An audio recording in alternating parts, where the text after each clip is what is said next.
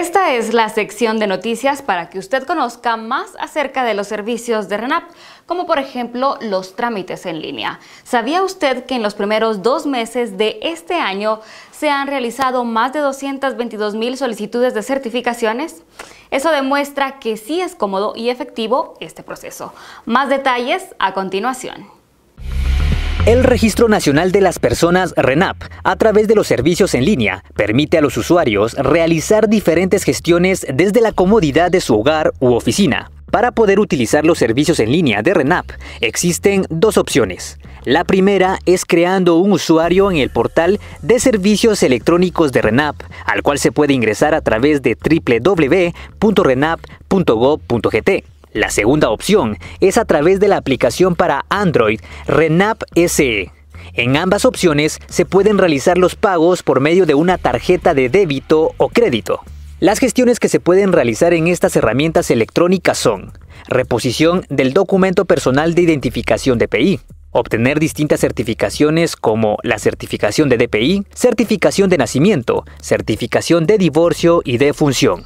También se puede obtener el certificado de guatemalteco de origen, guatemalteco naturalizado o extranjero domiciliado. Todos los documentos que se tramitan en línea son enviados al usuario a través del correo electrónico que proporcione al momento de efectuar la gestión. El envío es de forma inmediata, por lo que los usuarios ahorran tiempo en la realización del trámite registral.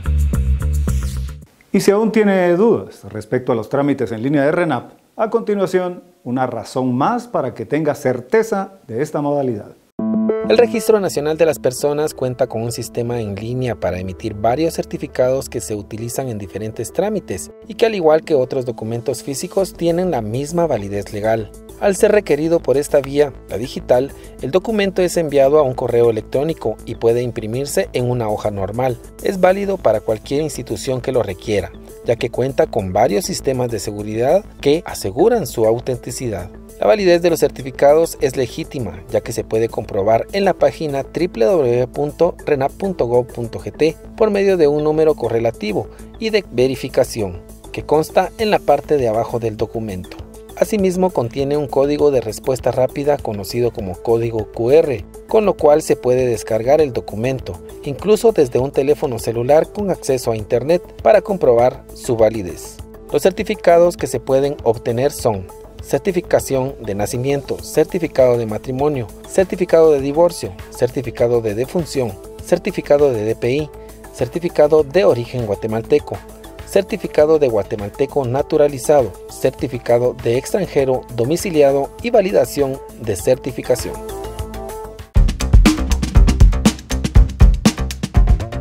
Para comunicarte a RENAP por vía de WhatsApp, debes tomar en cuenta lo siguiente. Agréganos a tus contactos con el número 4210-7327. Escribe en un párrafo tu duda registral. Responde adjuntando lo que el operador te solicite.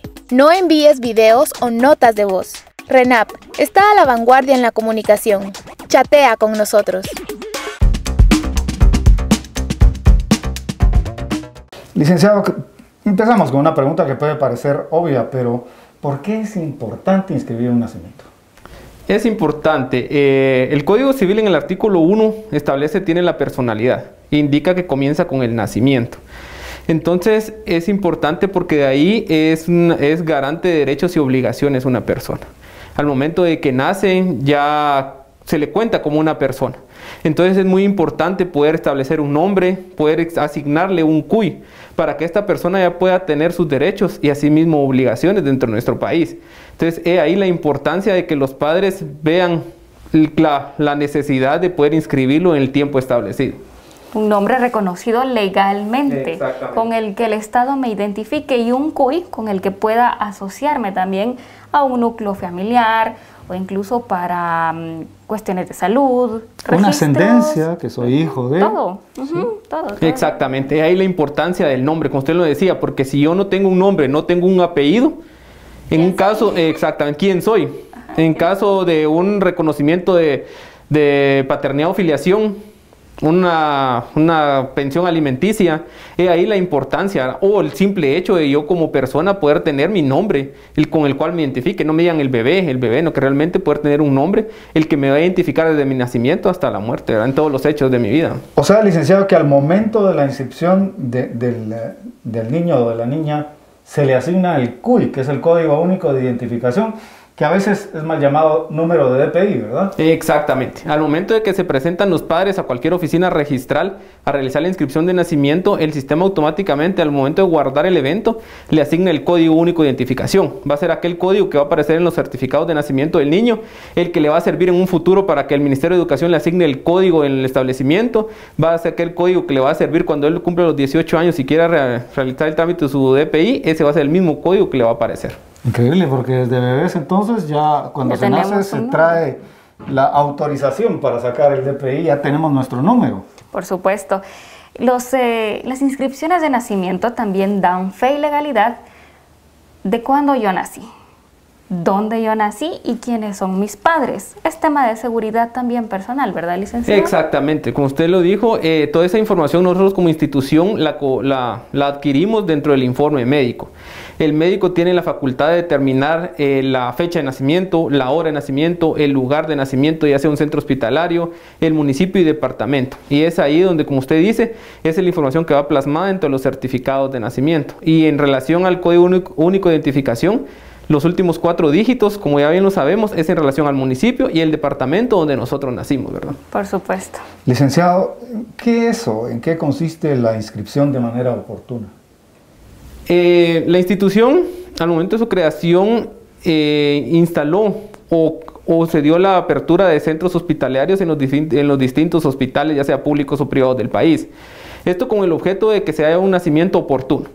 Quiere decir de que al momento de que la madre ingresa al centro hospitalario, tiene la oportunidad de que al momento de salir, de una vez salga el menor o el bebé con su nombre. De una vez, mismo. Ahí mismo. Por eso le digo, eh, se, se, hizo las campañas de sensibilización para que en todos los hospitales a nivel nacional, así como aquí en el país, aquí en Guatemala, municipio, tenemos en hospitales privados, tenemos en los ICS, en hospitales públicos, donde está instalada una oficina auxiliar del RENAP.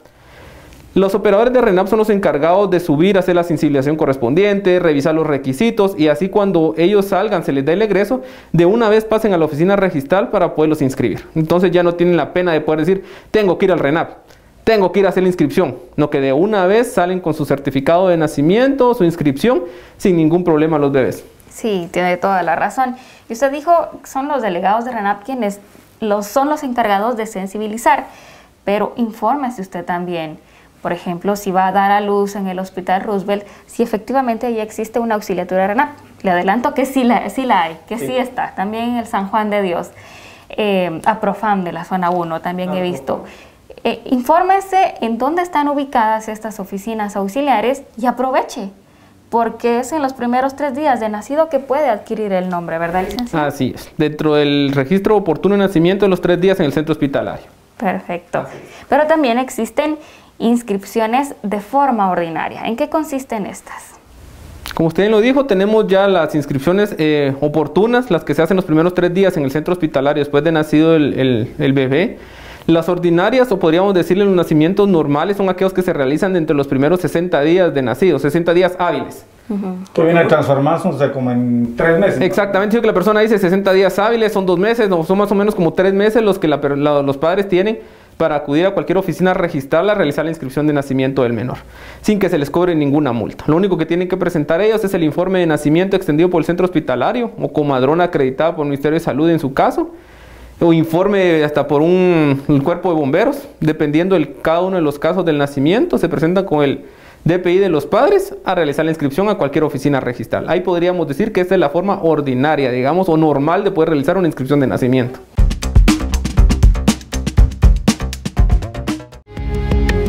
El Registro Nacional de las Personas RENAP registró durante los primeros dos meses del año 377 inscripciones de mortinatos, es decir, este es el registro de la inscripción de bebés que nacieron muertos durante el 2021, siendo estos 197 y 180 en enero y febrero respectivamente.